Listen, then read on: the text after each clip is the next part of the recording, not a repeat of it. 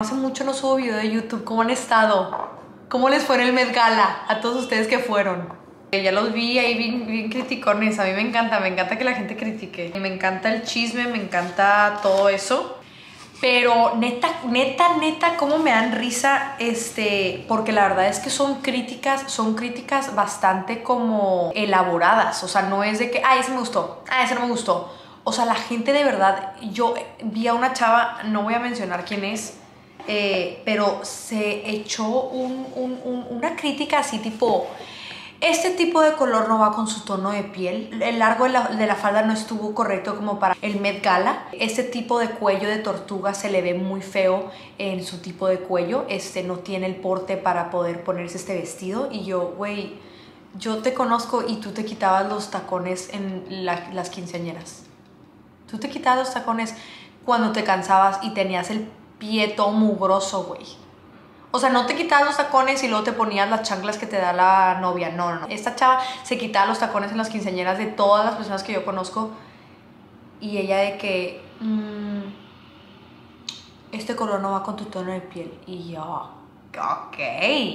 Obviamente nosotros no nos movemos este, en ese ámbito, ¿verdad? No conocemos a estas personas no, no tenemos la posibilidad de toparnos un día a Kendall Jenner en el restaurante y, ay, qué pena, vio mi video donde la critiqué y a ella y a su vestido.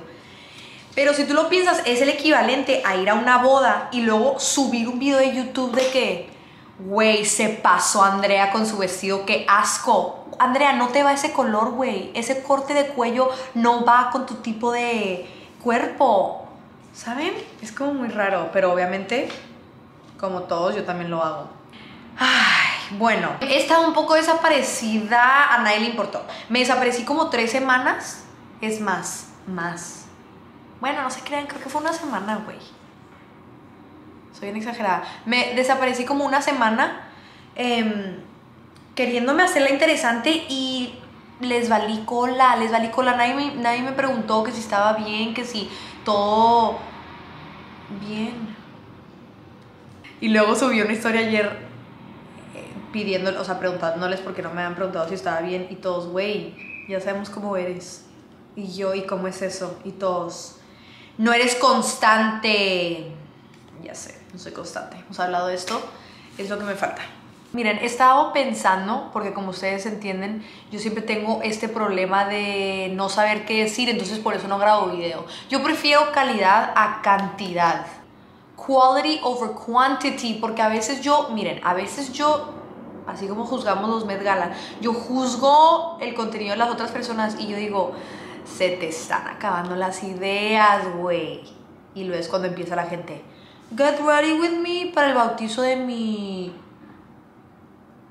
primita.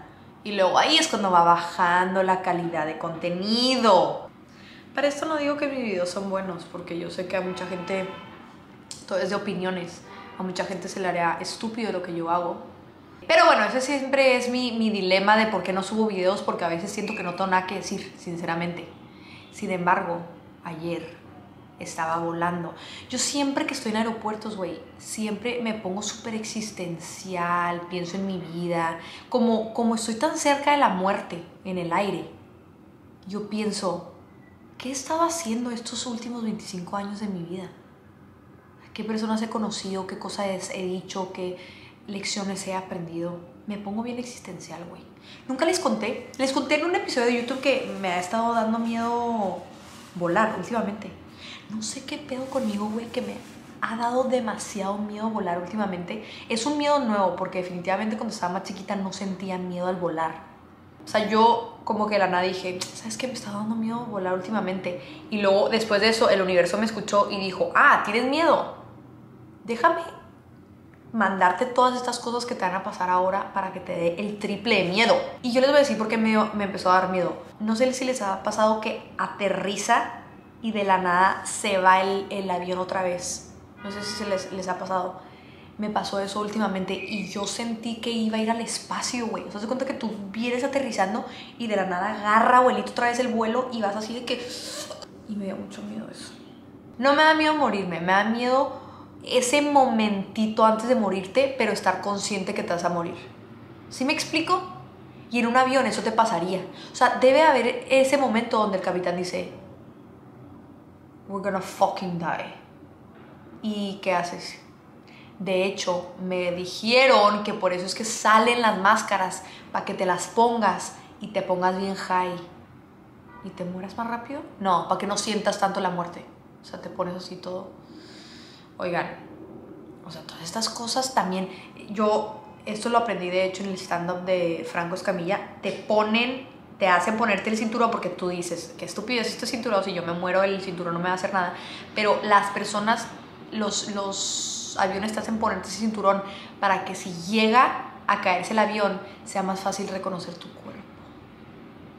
Hay solo unos datos que quisiera compartir con ustedes para no ser la única que tiene miedo y también que sean ustedes. ¿Eh? ¿Qué tal? ¿La sientes que hueles? Vas a estar cagada de miedo. Bueno, entonces me he estado poniendo muy existencial en estos vuelos últimamente. Ah, déjenme les cuento los que, lo que me pasó, güey. Iba yo de Nueva York a Austin, vuelo directo. Y la verdad es que para eso sí soy bien buena, para dormirme. Si voy cansada, por eso es que me gustan los vuelos o muy temprano, muy noche, porque si voy cansada, ya chingue, me quedo dormida y se acabó. No hay miedo, no hay nada. Miedo a la muerte, nada. Yo cansada, no me importa nada más que dormir. Yo iba en este vuelo y normalmente me duermo en estos vuelos. Y como que me desperté de mi sueñito, creo que me dio ganas de pipí y ya después de eso ya no me puedo dormir. Entonces no me he dado cuenta de las personas que están alrededor de mí. ¿Tú, tú has pensado en eso? con las personas que estás enseguida, ¿podría ser como alguien X, porque solo pasas esas horas que estás en el vuelo encima de ellos, pero si llegas a morirte, es la última persona con la que estuviste. Y nosotros no pensamos en eso, solo estamos muy preocupados con nuestra música o dormidos. Pero la neta, qué hueva hablar con los enseguida, la neta. Empiezo a ver que el chavo enseguida de mí era, era, a ver, quiero decir esto sin que se me venga el mundo encima y me ataque. Era hindú que no sé si esa es la palabra correcta de decirlo porque hindú es una religión, entonces no debo de asumir que él está en esa religión. Era morenito, pues, pero como de, de la India. ¿Ya me explico? No me van a atacar. Hindú, no sé si así se dice. Pero bueno, esto era el, el, el, chavo en Y este, esta persona estaba nerviosísima, güey. Yo no me he dado cuenta porque me dormí los primeros ponle tú 25 minutos, pero estaba él así. Y de la nada agarraba su celular y se ponía alarmas de 5 minutos. Y eso ahí fue cuando yo dije, ¿qué chingados es eso, güey? Yo me empecé a asustar y como él en su nerviosismo volteaba así de que, o sea, agarraba, así se agarraba de, de los lados de su asiento y volteaba y y respiraba muy fuerte, güey, respiraba bien fuerte.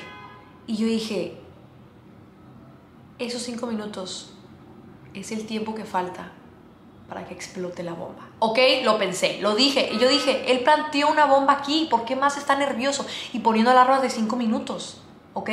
Fíjense cómo está todo en la vida, que todo, eh, tu mente se va y se va y se va. Y todo lo que empieza a pasar en ese momento se liga con mi historia falsa de esta bomba. ¿Ok? Está esta persona sigue de mí y el que está encima de mí está dormido. Y yo, güey, despiértate, cabrón. O sea, yo de que nos vamos a morir todos, pero dije, bueno, no, no, no vale la pena despertarlo por algo que no sé si es cierto. En eso pasan como unos, ponle tus siete minutos, y veo que una aeromoza está intentando abrir la puerta del baño y no podía, y como que se desespera y sale, no corriendo, pero camina bastante rápido hacia el otro lado del avión. Y yo dije, güey, yo pensé, 911, yo dije, eh, o sea, está bloqueada la entrada del baño, alguien está ahí, está robando la bomba, este chavo trae la alarma de 5 minutos, son amigos, los dos nos quieren matar a todos. Entonces en eso yo estaba de que no, no, no, no, me empecé a asustar la neta un chorro porque yo soy bien nerviosa. Y en eso sale ya esa persona que está en el baño, esto no tiene nada que ver con la historia, sale una persona del baño y luego en el, en, eh, por el intercom dice la hermosa, it is against the law to smoke any sort of electronic cigarette. Esa persona que está en el baño estaba fumando vape Y por eso fue todo el drama de que le intentó abrir y no pudo y luego se regresó enojada. Ok, entonces ya, descarté esa opción como algo negativo, ya la persona solo estaba fumando vape. Pero este mijo seguía a respire y respire y sudando y nervioso y no, no, no, yo estaba de que, güey, ¿qué traes, cabrón? Y mi táctica siempre cuando yo veo que algo va a pasar es tratar a la persona bien.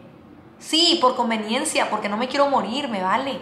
Ya sé que no lo había pelado antes de esto, pero empecé a voltear con él de que, así yo dándole una sonrisa empática, ¿saben? Queriendo empatizar con lo que sea que sea su situación. Yo dije, yo no sé por lo que ha vivido este hombre. Igual está en un culto, en una secta rara y con mi sonrisa lo va a poder enamorar. ¿Eh? No, no, es que neta, ¿cómo me gustaría que hubiera una cámara 24-7 grabando todo, todas las cosas que me pasan? Yo iba así y yo. Y no me volteaba, porque yo decía, volteame a ver, él no me volteaba a ver a mí los ojos. Y volteaba yo. Y ya como que se dio cuenta de que está loca, güey, chingado, porque está volte y volte. O sea, como que cada loco con sus cosas, ¿no? Yo pensando que él me iba a explotar una bomba y luego él de que, güey, no me gustas, cabrón, deja de, de, sonreírme, deja de coquetearme. Pero ahí era como ahí un conflicto que traíamos. Y yo sonriéndole y sonriéndole, ya como que empieza a sonreírse, ya con sus alarmas, y ya dije, güey, ya la neta me vale. Y le dije, güey, como, ah, como, ¿por qué pones esas alarmas? Y me dice, es que me, me, me pongo muy nervioso volando y me pongo meditaciones de cinco minutos. Me dijo, me pongo muy nervioso cuando vuelo y me pongo meditaciones de cinco minutos. Güey, soy la peor persona juzgándolo, juzgándolo.